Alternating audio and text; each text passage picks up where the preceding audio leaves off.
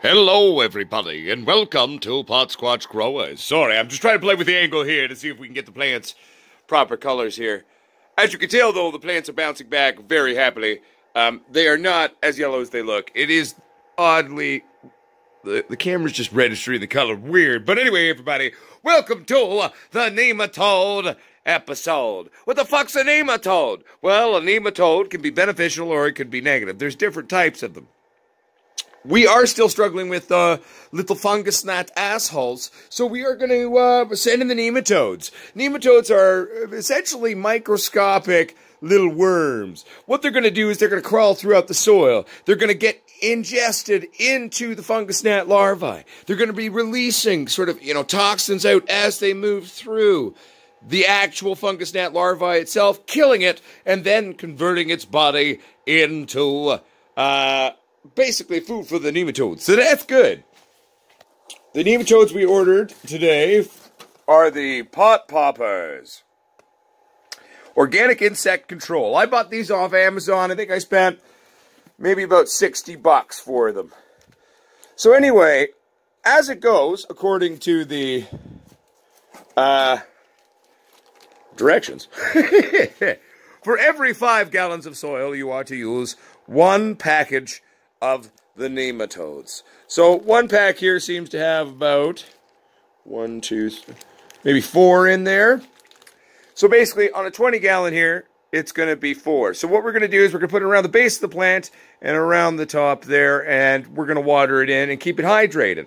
And then they will begin to activate and wake up in the next sort of three to five days, typically up to seven days. But then they're going to get to work there and start to fight those uh, little bastard fungus gnats. The fungus gnats aren't too bad right now, but we're going to get in there, though, and uh, keep on fighting the good old fight with those motherfuckers, as it were. But anyway, my friends, um, I'm going to put some nematodes down, and then we'll water them in. Uh, but this is a great, all-organic, natural way. It's kind of like a bio-warfare in that we are sending in the agents of chaos, the agents of nematode, little microscopic worms to go protect our wee titty plants and the beautiful little rootlets so they don't get broken. All right, so this is what they look like here, if you were wondering. Little. So we're going to open up these pouches and throw them on there. Okay, I'm to I'm gonna throw some of these down and then we'll shoot a clip there while we're watering it in. All right, ladies and gentlemen, I'm going to try to get these nematodes so they kind of almost look uh, oddly like little fish eggs. Those are them there. Not the perlite, obviously, but those little fish egg looking motherfuckers. So I've put some at the base of the plant and I've scattered them all around the top there. And we've got our water here. Today's not going to be a full water day. There's already still a decent amount of uh, water still in these plants, so I'm, I'm, I'm not going too heavy on the watering here. Just enough to uh, get our nematodes here rocking and rolling. There we go. There we go.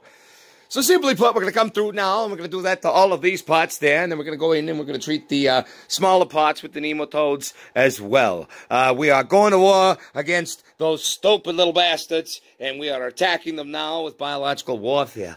Uh, I love how this plant is adapting to the chai. Like, look at how thick and nice she's getting there. Loving it. Uh, probably another week or so, and we will remove those bindings. Uh, so we're getting close on that one, my friends. But anyway, everybody, this is what the fuck's a nematode episode. We are bringing them in to help us with the fungus gnats, and as you can tell, that'll be great. And then going forward, that'll help us to really maximize uh, our plants, have them not be too stressed out in terms of the flowering that we will be then flipping on or flipping to on the Monday. But anyway, everybody, thanks for tuning in, and we'll see you soon. Rock and roll.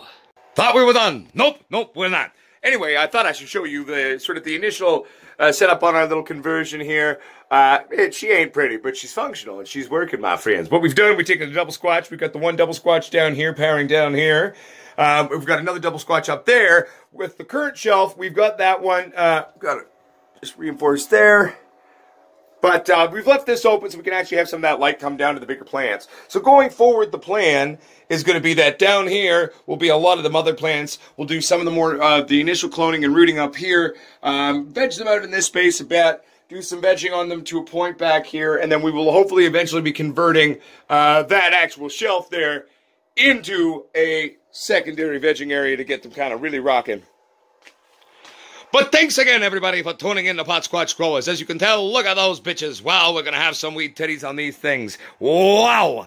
Thank you for all your support, everybody. If you'd like to support this channel and like what we do and what we contribute to the community, feel free to check out PotSquatchGrowers.com to buy all of your hats, t-shirts, grinders, rolling papers, Potsquatch Growers swag. You can even, if you really feel the need to, book a video consultation with the Potsquatch himself there. Um, also, if you'd like to grow like Squatch, well, hell, a great way to do that is to check out your very own Squatch lighting systems. The website's back up the most affordable, reliable, professional grade tech in the world. And customer service, second to none. But anyway, my friends, thanks for checking that out. The website's back up. Everything's good to go. We're ready to rock. Check that shit out. Tune in Monday for us flipping the flower. Peace and love. Remember, the true grower is the forever student. A true grower is not a, uh, well, you know, they take risks, educated risks, but they're not afraid to do so. Be yourself be true. Keep it real, motherfuckers. I'll see you on Monday. Well, we'll do Sunday, uh, the live stream, and then we'll see you then. But we'll see you on Monday as well. All right.